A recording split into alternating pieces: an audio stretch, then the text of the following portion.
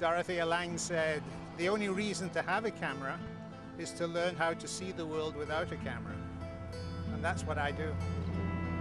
Jim Swift is a photographer's photographer, an artist whose work is almost meditational.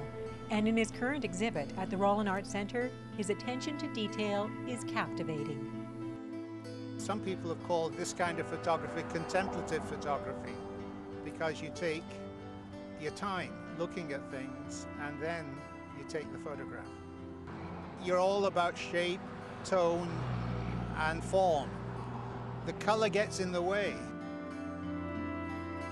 There's very much a soothing feeling with that, with these photographs. Black and white certainly brings us back to a time when everything was very calm and very surreal and very um, soothing to the soul. And I think really in this particular exhibit, Jim captures that. He's a hands-on photographer and clearly it, it's, it's, it's very evident in this show. And perhaps it's not surprising that Jim's attention to the feel of each photograph leads him to spend hours on the computer, working with each image until it's just right.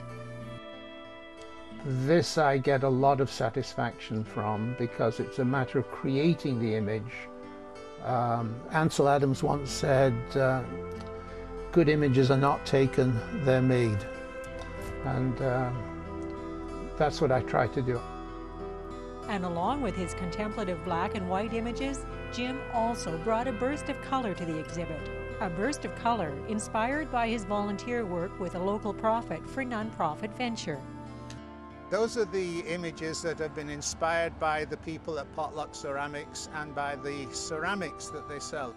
I took these to honor the joyful enthusiasm of those who came up with this wonderful idea. It really captures what he, what he is as a being.